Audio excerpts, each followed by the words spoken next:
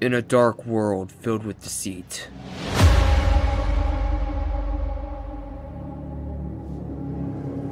One united voice is crying out.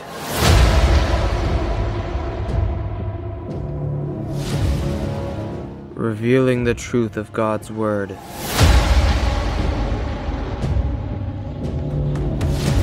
It's time to expose the hidden truth.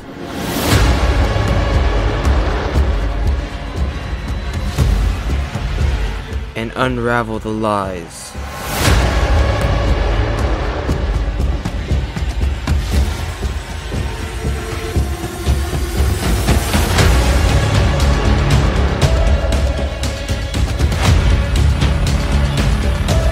While we're living in Satan's little season.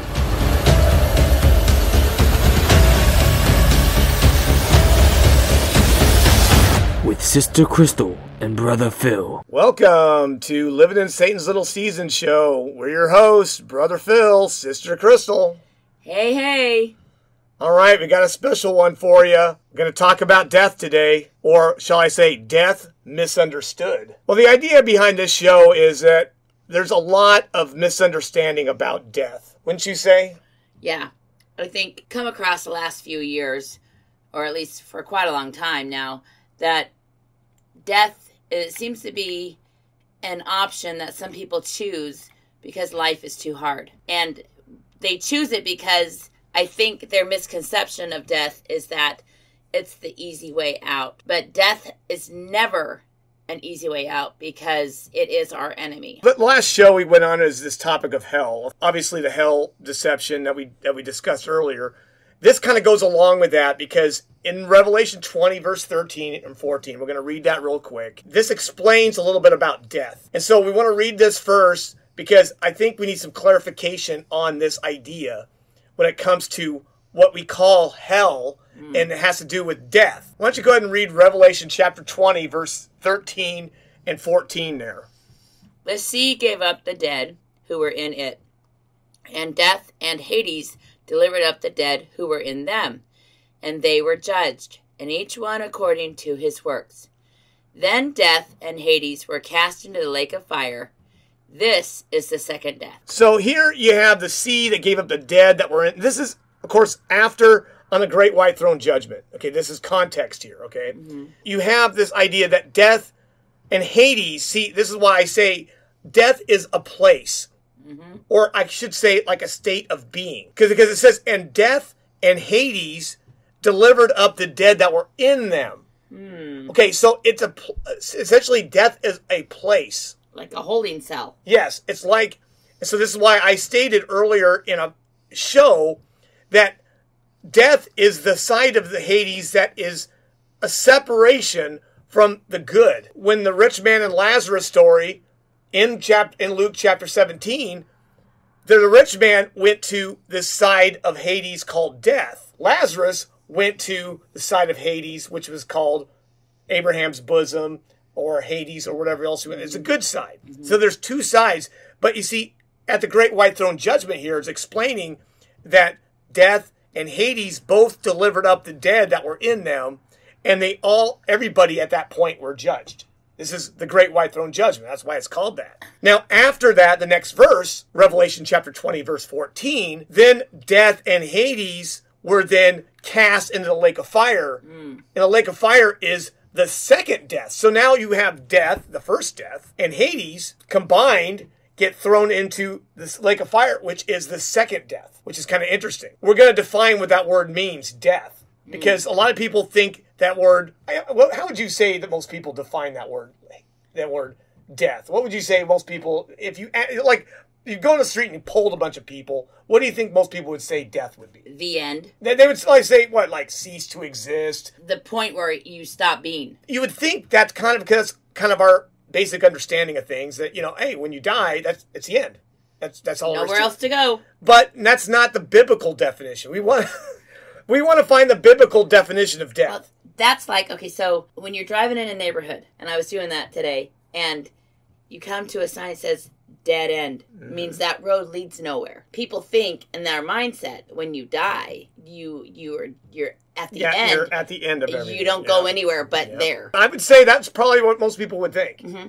Because that's kind of the way our understanding of things are, because most people don't think on a spiritual level. But what we're going to do is we're going to prove to you biblically that I love to prove things biblically because I'm going to show you how this word death does not mean what we think it means. Is that like your ace in the hole? I mean, yeah. forget So- it. Forget about cards. He just lays the Bible on the table and said, "I'm proving this legitimately." So what we're going to do is we're going all the way back to the first place in the whole Bible that this word is mentioned. Come on now.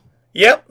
And that's in Genesis chapter 2. That's I mean that's at the very beginning cuz God warns Adam in the garden of Eden about this idea of death. And of course, I'm going to be reading out of my uh, Septuagint version because I don't trust these other versions.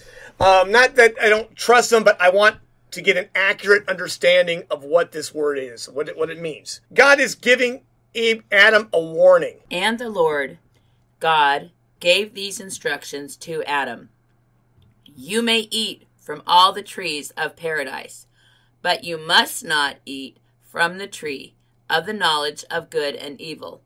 For on whatever day you eat from it, your life will end and you'll die. Okay, the way they describe it is there's actually a couple words here that it's, it's interesting that they use. Another way of just saying it is it says, "On the day you you eat of it, to death you shall die." That's essentially what he says. To death you will die. God was giving him a warning here, which I think is kind of interesting because it's like to death you will die. In other words, he uses two different words for death uh-huh. there, which is kind of interesting because you're like, why would they use two different words for death there in that verse of scripture? This is what we're getting to here. We're trying to understand what this word means. Because remember, he said the day you eat of that fruit, to death you will die. Did they, when they ate, when they did eat the fruit, which he did, did they actually die that day? No. How do you explain that? See, this is why we were trying to get, because see, people's definition of what death means is not the same as what the biblical definition. And we're going to go over that right now. My understanding of death, and I'm going to show you what what it is. Death, essentially, in, in, in a single word in English. I, I looked and tried to find every single word in English I could possibly think of that would describe this. Separation. What death means, because we know that, you know, according to a lot of the stories of the Bible, when people, when death came upon them, they did not cease to exist. Story of rich man Lazarus is an example of that. When they when they died, they didn't cease to exist. They went into Hades. But what the way God is describing death here, it's a separation. So what God was telling to tell Adam is the day you eat of it, you're going to separate and you're going to start dying. You're going to mm-hmm. start basically aging and dying now. Decaying. Yeah, decaying. So there's two processes. Essentially, he told him two things that you were gonna, you were going, death was gonna be gonna come upon you. In other words, separation was gonna come upon you. You're gonna separate. You and me are gonna be separate. Mm. We're, it's almost like when a husband and wife they so before a divorce they have a separation. This is kind of what that this is, is describing. Here. Mm-hmm. Wouldn't you say that? This is what happened on at the Garden of Eden. What happened after they sinned? Adam and Eve did they had to had to separate themselves from the garden at that point. Right. And from and that was from God as well. Their connection and their mm-hmm. fellowship with God separated mm-hmm. because they said the day you eat of it, you'll surely die. So they did that day. They Uh, death came upon them because they separated from God and the fellowship they had. Because that was a choice. Right. They chose. They ultimately were all given that choice if we want to be separated from God. what we're trying to get is this understanding of what this word means. Because we know it didn't mean that their life was going to cease to exist that day, because later on in Genesis chapter 3, we, we discover that the curse God gives Adam, mm-hmm. and you can read that curse right there. Go ahead and read uh, Genesis 3, verse 17, uh, at the end of that there. Cursed is the ground for your sake.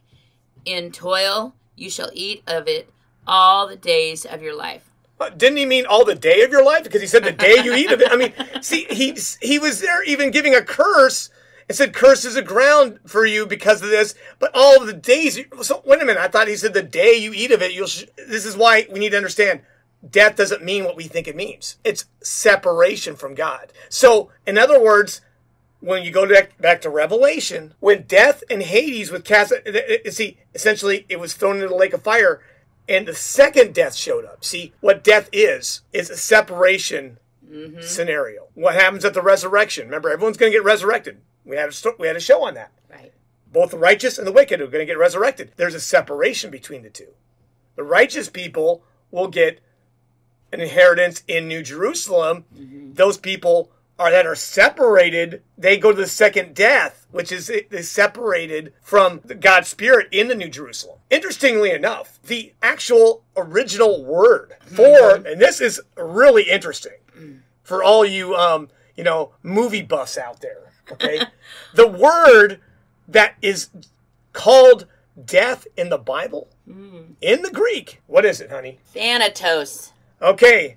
Anybody who's watched any of the Marvel movies knows knows where they got that word from, right?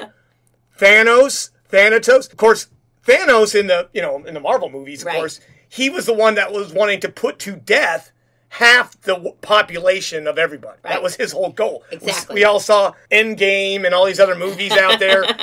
he was the essentially the bad guy in on the on the on the Right. movie. Right. And it? They called him Thanos, which is kind of really similar to Thanatos, which is actually the word for death in the Bible. The biblical word for death. So they were describing what something was without us knowing they were describing it. So, you know, even these um, Hollywood gets it right sometimes, explaining all this stuff. I'm sure they did their research and, oh, we'll call him Thanos because it's cool and it means death and that's what he wants to do. He wants to kill after, wor- after the universe's Exactly. population. So that's what it is. And so, if and all these Greek words have a lot of similarities in what in the English. And symbolization. Yeah. There's Yeah. a whole lot of symbolization, um, symbolicness to it, which is really interesting because going back to the hard times people have endured throughout their lives and the situations, if anyone knows of loved ones or people you've known who have chosen death or suicide over living, it's because I believe there's this lie that the devil evokes over people that death is better because he did the same thing to Adam and Eve in the Bible. Surely you will not die. The idea is that he doesn't want us to think that death is of what existence that it is, is that it's a separation, but that it's that lie that it's just the end. And if you die without having a relationship with Jesus and God, then you will have to be separated again. And so suicide isn't necessarily the easy way out. And we've probably known lots of people who've had that, that made that final decision to choose death over life, but it's never the right choice to make because there's always that separation if that person isn't living rightly, which is sad because that's really the devil is so good at lying and deceiving to so many people and in their weakest moments that they choose the lie over the truth. it's like I say, it's separation. Initially, of course, if you're a righteous person, it's separation from your body and your spirit, separate from one another, and that's what death is. We understand that. Now, if you're a wicked or you're not righteous, you're not living according to God's will, it also includes this separation from God. And so this is why we're going to go to First Corinthians, and that's, of course, the resurrection chapter. and we're going to read a few verses in here that discuss this idea of death. But we're going to read a few verses before 1 Corinthians 15, verse 23. Go ahead and read, read start right there. We'll, we'll discuss a couple of these. But each one in his own order Christ the firstfruits, afterward those who are Christ at his coming. Then comes the end, when he delivers the uh, kingdom to God the Father, when he puts an end to all rule and to all authority and power. Okay, we'll stop there for a second because here he's going by a pecking order of how the resurrection is going to go. First, it's Christ, Christ's resurrection. That was, that already happened, you know, 33 AD, right in that area. He was called the first fruit. Then after that, those are Christ at his coming. That's why he said the first resurrected. Okay, this is okay again talking about the holy ones. That's these guys, the ones who are Christ at his coming. This isn't all the righteous dead and all history and all that. No, this is just who are Christ. See, I noticed that they're really specific about that. That's why I said that the people in the first resurrection are not just every righteous person on earth are going to get resurrected. No, it was only those who are Christ mm-hmm. at his coming. Mm-hmm. So it's the people who are who are, are believers in Jesus Christ during that first century. Those were the first resurrected, and they're hmm. still around today. That's the first resurrection right there. And then, of course, we know resurre- we know Revelation chapter twenty talks about these are the first resurrection. But then, of course, I'm glad it keeps going because then comes the end when he delivers the kingdom of God the Father and puts an end to all rule and all authority and all power. Well, we're hmm. not there yet, but we're approaching that time mm-hmm. coming the end. Okay, see, so there's another area that this is the final resurrection. Mm-hmm. And so we're approaching that now. So you see, we're on the third area. We're not Christ, the first fruit. We're not Christ at his coming because we missed all that. Oh, we didn't miss it. It wasn't really for us. Mm-hmm. But we're on the last part where he puts all rule and authority and power under his own, own feet. For he must reign till he has put all enemies under his feet. Okay, so there you go. We we he, there's so many different ways he says this. Remember, he talks about the parable of the one deceived sheep. We, we talked mm-hmm. about that in one of the shows. Mm-hmm. Essentially, this is what he's talking about. All 100% of his enemies mm. are going to be under his sin. He's going to reign. That's why he's still reigning now. He resurrected. He came back already, and he's reigning now. Yeah, I know most people. I, I know they're they're in rebellion against his reigning. That doesn't change the fact that he's reigning right now. He Right. has all rule and all authority and all power, and he is reigning right now. Most people are in rebellion against his reign. That he must reign until there's there, there- he's going to stop reigning eventually. Is that you know the caveat? Well, yeah Is until? until. See, if you look at very carefully at this thing, he must reign until until he has put all enemies mm. under his feet. So every 100% of people, and that's of course, there's other scriptures that say every knee will bow, every tongue will confess that Jesus Christ is Lord. This is all has to do with that. That's why I'm saying every single person eventually will be unified and believe in Christ and submit to his authority and his power. Amen. And that's what we want. I'm trying to convince people to do it while they're still alive now, as opposed to regretting it later on and wishing that they cut off an arm and poked Right. out, plucked out an eye, like like Christ was saying in the Sermon on the Mount. Because this is why what we need to do. Because otherwise, it's separation. Now, the next verse has mm-hmm. this idea of death mm-hmm. or thanatos, like we talked about earlier. Okay, go ahead and read the last verse here. We're going to go into. The last enemy that will be destroyed is death. Death, as I described, is separation. Death means separation. Separation from God, separation from all enemies will be under his feet. By understanding all that, no one will be separated now. By having every enemy under his feet, everyone will be unified, so there'll be absolutely no separation. Which it, which is describes exactly what he says with the uh, uh, he'll go after all the to the last last deceived sheep. He's going to go after that deceived sheep. So here it's describing Christ going after everyone and the last enemy that will be destroyed. See, most people think death means people who have died. No, it means the last enemy that will be stro- destroyed is separation or death, so that we all will be unified. We won't be separated at all. Because if death is destroyed and we're not separated from God, but we all coexist with God, like you said, in unification. It's all 100% unified. Everyone in the world will be unified. This is God. This was God's plan all along. The more I understand His plan, the more it just it, it's a brilliant plan. that what He does is He just sends Satan down here to to to get everybody taking sides, fighting with each other. And everything, and then the, the- of course some people can see through all that, like us. We're, we're, we're seeing through all, all the nonsense, right?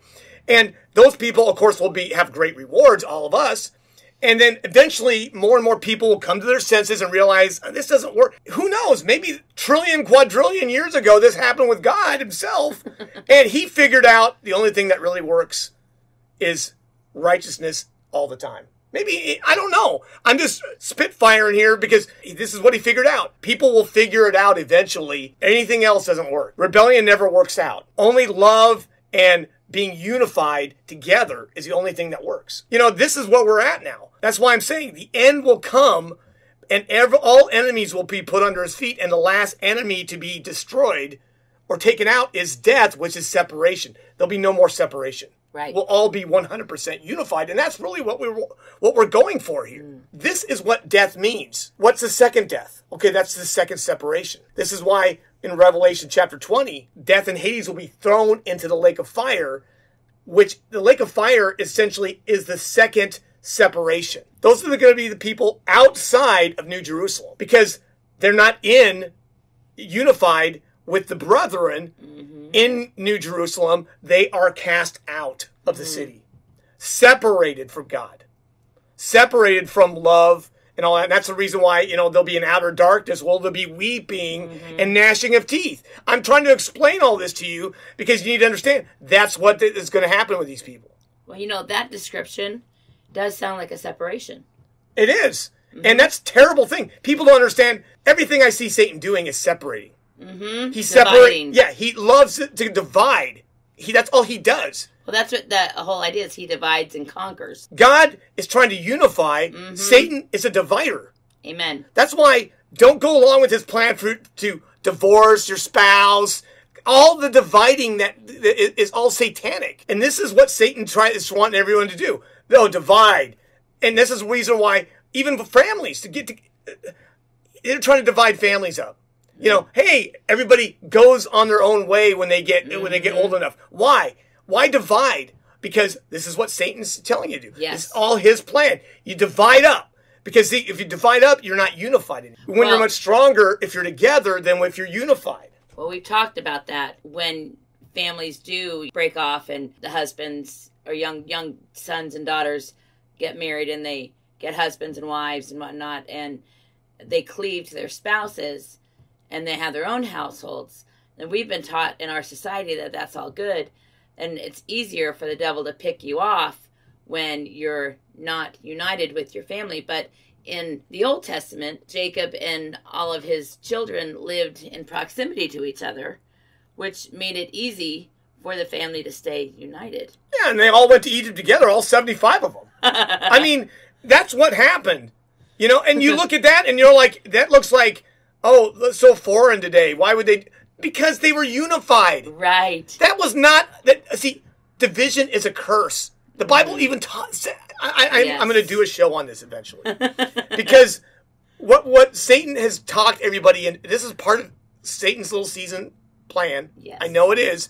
Is to divide everyone up, divide homes up, divide. Oh, you got to go your own way, and then everyone's alone. It's like, no, it's being unified and together is a godly trait. Yes. Being separated is is death and it's an enemy. Yes. It's satanic. We don't want that. We want to. So we need to be thinking unification mm. as opposed to dividing, mm-hmm. separating, separation from God. All that's what de- that's essentially. If you're a wicked person, it's not just separation from your body, because essentially that's what death is. It's your your spirit separating from your body, mm-hmm. but more than that, it's a separation from God. Mm-hmm. That's what the second death is. Mm-hmm. It's you're separating from God as well, Right. and you're outside of the New Jerusalem, and you'll be wishing you were in there. You'll be crying, you'll be angry, weeping, gnashing of teeth, and all that. This, mm. this goes along with the hell one that I would talk about, the hell deception. I want you to understand this is what death is. Mm. Death is not your friend; it's an enemy. But see, people treat it as your friend. Mm-hmm. How many marriages have failed all the time because they, people don't want to unify? Mm-hmm. Instead, they separate. Separation is not mm-hmm. good. No. But all we're conditioned to do in our society and cultures now mm-hmm. is separation is a good thing. That is a lie from the devil. And what we need to understand is we're wanting to get rid of the devil, get rid of his ideas and his philosophies because they don't work. That's right. What works is God's philosophies and what He teaches in His Word, and what He teaches in His Word is unification, and ultimately unification of all everyone, because we'll all be unified one day. It's not a matter of if now; it's when. It's like I want people to get on board now. By the time we get to the next life, and most people will, uh, we know, will have made the wrong choice, not under the impression that. Oh, we're going to have this mass awakening and a whole bunch of people are going to start coming to the Lord. Is very doubtful because we know how the end of Revelation works. Most of the world is deceived by the devil. It's my goal to get people undeceived by the devil. I don't even know if undeceived's a word, but I, I say it's a word. Okay? We all know what that means. To get you out of the deception of the devil mm. and into the unification and anti separation of God. That's what we want to do. We want to be unified with the Lord. Right. And this is what we want. But see, it all starts with us. We have to be unified. We have to just mm. get out there and just unify, unify everyone. That's why this divide and conquer scenario. That's why I don't vote. I don't get involved with politics. I don't do because all that's d- designed to divide everyone. I love everyone. I don't care if you what political party you're part of. I love every single person on earth. I mm. wish that people wouldn't harm themselves. Obviously, I wish people wouldn't make poor choices. I tell people what I think. What what, what I think the Bible teaches. Right. And the Bible teaches about all kinds of, uh, of stuff that, you know, is really relevant to today. And I, I, so I just tell people, okay, this is what the Bible says. You can do what you want. I'm not your babysitter. I'm not your parent. I'm, I'm just out there telling you, telling what the gospel says, telling what the mm-hmm. message of the word says. Follow the spirit of God inside your life. I'm kind of an mm-hmm. anarchist in that way. You know, I consider myself a godly anarchist because I, that's I think the way God does everything. He mm-hmm. just gives you the word and expects you to be an adult. Well, I think it's the idea is that he wants us to choose wisely. And that's really what you want young people to grow up and to make wise choices. And if you make a wise choice, then the inevitability is that you're going to have a reward waiting for you. But if you make a bad choice, then you're going to have to suffer the consequence. And that's another separation. Well, we know what Paul says. Remember, the wages of sin Yes. is death. In other words, the wages of your sin is separation. Now, I want you to think about that for a minute because if you use, put that word separation there instead of death, it whole makes a whole lot more sense. Right. In other words, your wages of your sin is you become separated mm. from unity, love, all that kind of stuff. But the gift of God Yes. is eternal life. We don't want separation. We want unification and eternal life. Mm-hmm. That's what we're going for here. People that don't choose life, don't choose God, don't choose righteousness, they're, they're, th- what they're choosing is separation. And of course, we know what the end will be weeping and gnashing of teeth. I'm trying to spare you. I'm trying to spare everyone this. Right. I don't want to see anyone weeping and angry and all that. All you have to do is just start living your life for Christ. Mm-hmm. Okay, one day at a time, start doing what Christ wants you to do. And that's it. I think that's the tough thing is that we're trying to persuade everyone to see that what we've been taught and what we've been led to believe isn't exactly the truth. The truth is this death is a separation. What the devil is trying to do is to get as many people as he can to not choose God so that they are separated. We've Yeah. talked about this before that what God wants us to do is positive and beneficial and true and right, uni- unifying. The devil is always opposite of God. And so it's separation, it's division, it's evil. And so he always wants to get people to go his way, which is inevitably against God and separated from God. We live in such a disconnected society now. I mm-hmm. mean, if you notice, our whole culture and society is so disconnected mm-hmm. from one another. Most people don't know who their neighbors are. It's mm. it's like we there, there's no connection between people. Where most people are just on their phones all day. They don't even talk to each other anymore. Uh, mm. what I'm saying is, is this is not God's will. Of course, this is all satanic in nature. Right. We understand all that, but I just this is a I just want to get this message out to get a little bit, give a little bit more explanation on this. Now, I needed to explain death a little bit more because people not understanding. Yeah, you're not going to be in agony in a, a lake of fire where you're just your, your flesh is like burning all the time. You're not gonna. It's not gonna pain and suffering in that way. It's more of you're gonna be separated mm. from God's love. You're gonna want that love because imagine not having anyone who ever cares for you because you know if you don't you're not following Christ you're that's where you're at You- you're you're going to be separated It's like an emptiness. You're not going to be filled with anything good or worthwhile. It's empty. And no one likes to feel empty, and no one likes to be separated or alone. That's like torture. You know, I know some people go, "Oh, I I I'm all alone. I feel so good."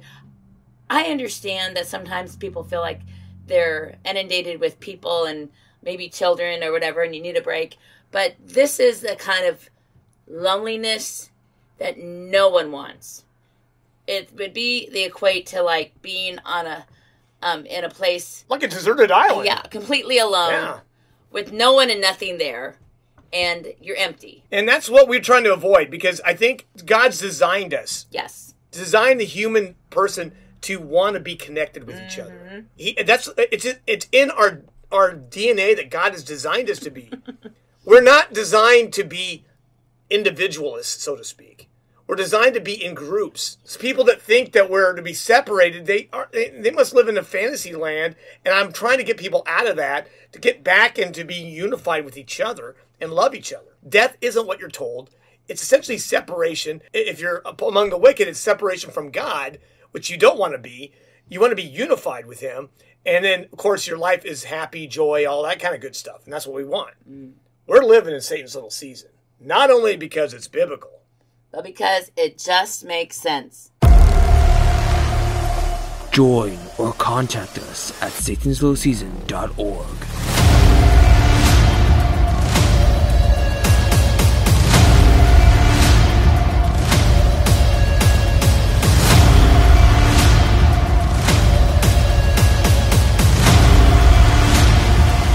This is a non copyright Living in Satan's Little Season production.